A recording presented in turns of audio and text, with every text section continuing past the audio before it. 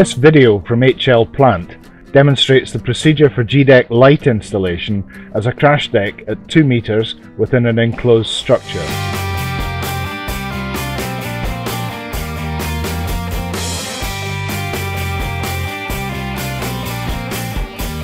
The system can be transported easily to site and unloaded by forklift or telehandler. Remember that PPE must be worn at all times while erecting G-Deck Lites.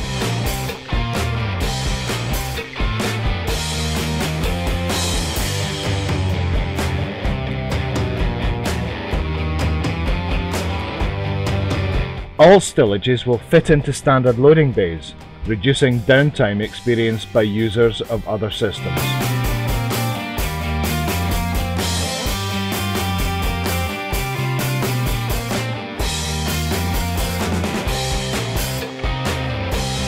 G-Deck Lite components are lighter and more compact, allowing more units per stillage.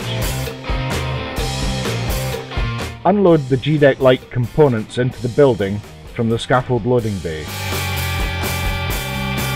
Ensure the area is free of debris before commencing. Assemble one unit in the first corner by standing two posts upright and inserting a platform unit into the connections.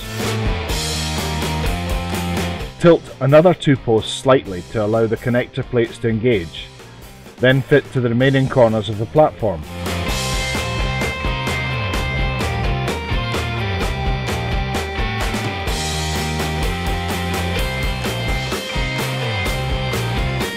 Next, insert a second platform unit into two free connector plates. Tilt two posts slightly to allow the connector plates to engage, and fit to the remaining corners of the platform. Continue the sequence of adding platforms and inserting posts. When the middle of the wall is reached, work back parallel to the run of G-Deck Lite, already erected, repeating the process. Start again at the other corner in the same wall, and when completed, fill the gaps by overlapping 1 metre or half metre platform panels as needed.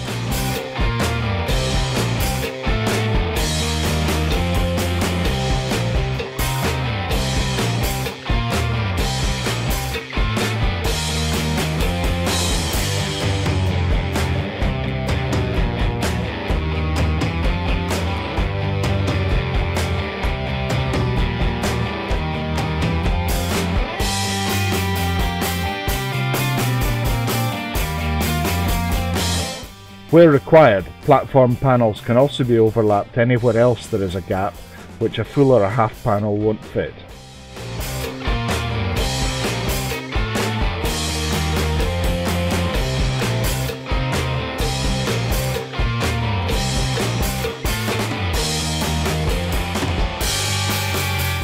The height can be increased by adjusting the base plate to allow overlap panels to sit properly.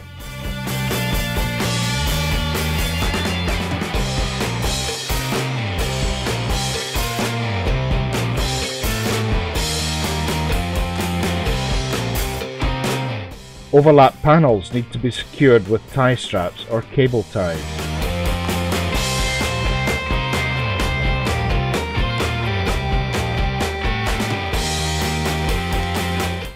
Finally, carry out a careful visual inspection to ensure that there are no gaps or irregularities in the completed installation.